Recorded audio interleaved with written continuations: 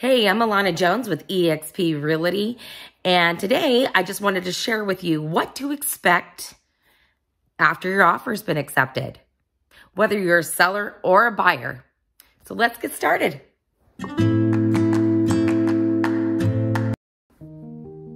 So you went through all that hard work to get your offer accepted or accept an offer, depending if you're the buyer or the seller. And now the work begins. So what should we expect? Well, let's get started. So step one is the earnest money deposit. Typically, the earnest money deposit is due within three days of an accepted offer. The earnest money deposit is typically about 1% of the purchase price. So you made an offer and an offer was accepted at 450,000. So your earnest money deposit is 4,500. Your realtor and title company and escrow company will help you in those next steps on getting that earnest money deposit. There's typically a couple of ways you can get your earnest money deposit in.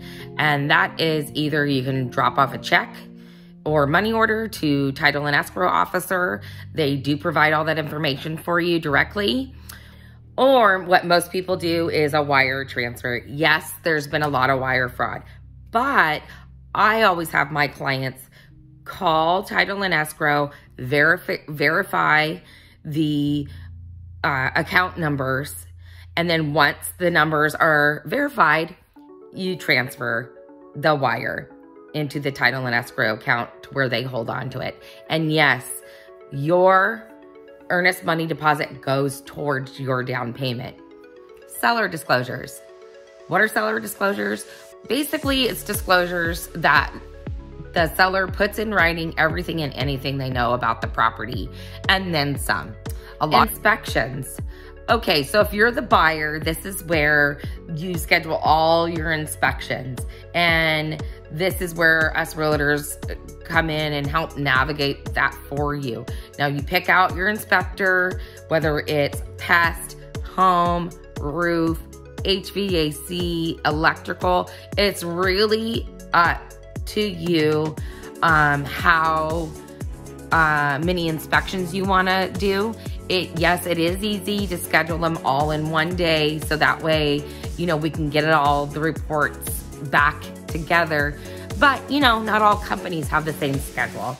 And sellers, this is where then where the buyer, this is where they get to go in and inspect the entire property. So this way, the buyer has a really good idea about the ins and outs of the house. Once the inspections are over, typically each inspection company, or maybe it's the same inspection company and they do several different types of inspections for you, typically they all send reports. Those reports get sent to the buyer directly because more times than not, the buyer's paying for them.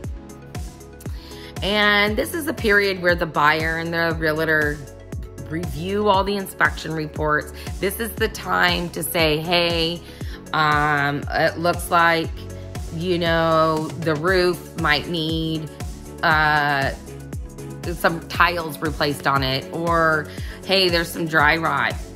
And, and then your realtor will put it in writing asking the seller to either do those repairs, give you a credit, or maybe you just are buying it as is and you know, you don't care. So, um, and this is the time that you ask the seller for either a credit to fix it, or maybe you're not gonna have them do anything at all sellers, this is the time where either you too can negotiate with the buyer on the things that you want to do or don't want to do.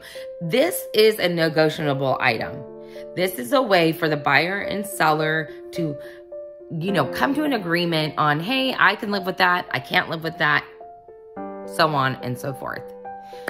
But as soon as that's all said and done and you guys come to an agreement, there's an inspection contingency.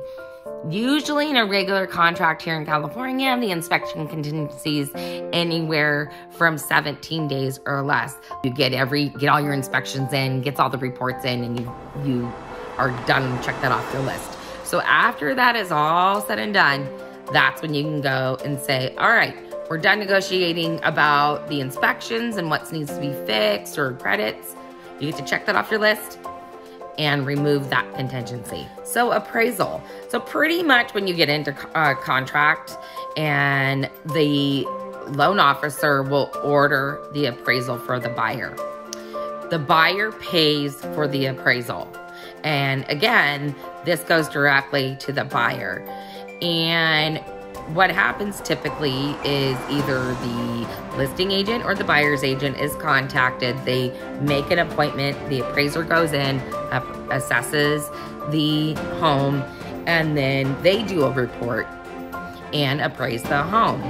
They have the full contract, so they know exactly what the buyer offered the seller or what the seller's in contract uh, with the buyer so everybody has all that information, and appraisers go in. They will compare your home with like kind properties, and they typically will only use closed sales.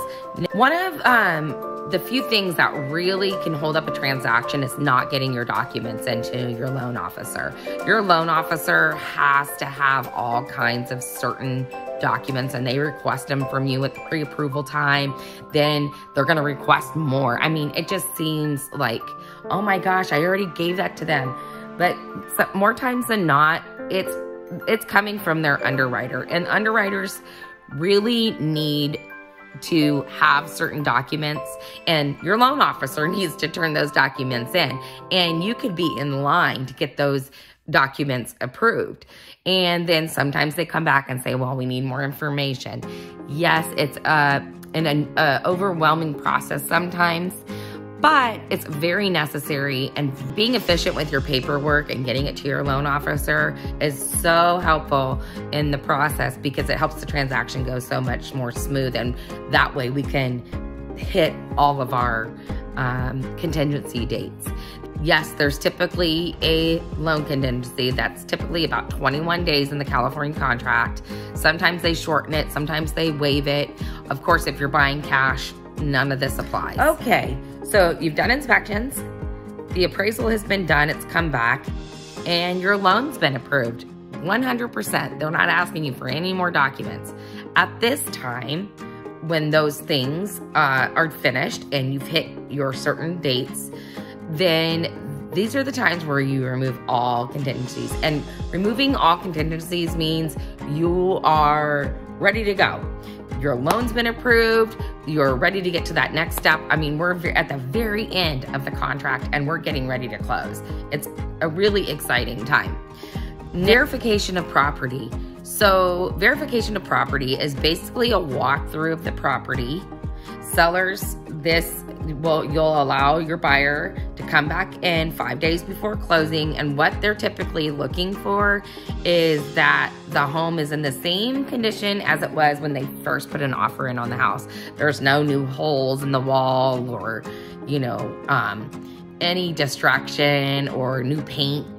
Basically they're saying oh i walked the property and yes everything looks the same as it did when i was there day one so the walkthrough's done, contingencies are removed. We're getting really close to closing, but we have a three day cooling off period. During that three day uh, cooling off period, you'll hear from title and escrow where depending on what state you live in, they're going to set you up with a notary and they're going to set up notary with the sellers to sign documents and they're going to set up an appointment with the buyers to sign documents. So the buyer cannot sign for three days after they have signed their closing disclosure. The sellers, on the other hand, can sign. So typically, buyer and seller sign, the notary gets all the documents back to title and escrow. After they you sign and they get the documents back to title and escrow, Title and escrow sends your documents back to the loan officer. The loan officer then funds your loan and sends the wire back to title and escrow. Once that is all complete, title and escrow have the funds to record. They have all the signed documents. They can take those documents to the county recorder's office and record it from the seller's name and to the new buyer's name. And when that happens, woo, you just got a house. For you buyers and sellers, you just sold your house. So that's when the, tr the transaction is officially done, closing day. And of course, the next steps for the buyer is to get their keys. And then the sellers, yes, your funds will come to you within about 48 to 72 hours. And you typically get your funds, whether that's, you know, wire transfer, a check to pick up a title in escrow, or they mail you a check. Buyers, you can arrange time to go get your new keys and voila, transaction is over. This is such an exciting time for both the buyer and the seller. Yes, it can be stressful, but there's so many different moving parts within a transaction and everybody within this transaction wants it to go smooth as possible. So these are just a few steps that I have outlined on what you should expect during your transaction, whether you're a buyer or a seller. If you enjoyed my content, please like and subscribe to my page. I would much appreciate it. My name's Allana Jones with eXp Realty. See you next time.